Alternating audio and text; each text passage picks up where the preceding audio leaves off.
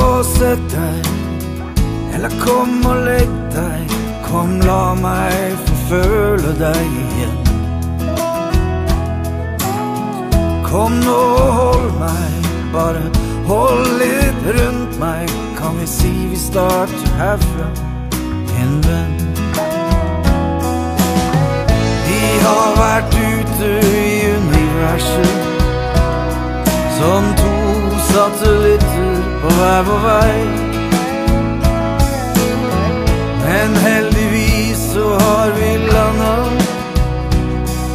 og du rett i nærheten av meg. Sånne som oss, vi har bruk for en kjæreste. Og den kjæresten har jeg tenkt skulle være deg.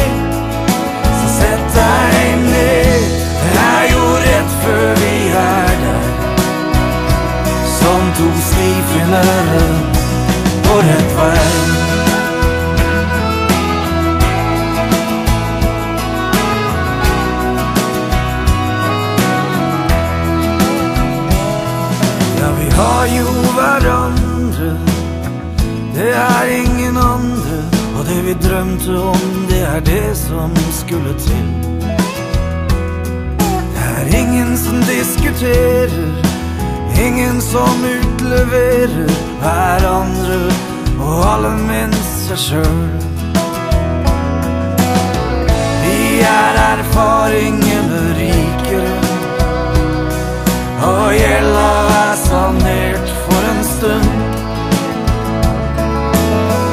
Men likegyldig hva jeg sier, så er det bare ord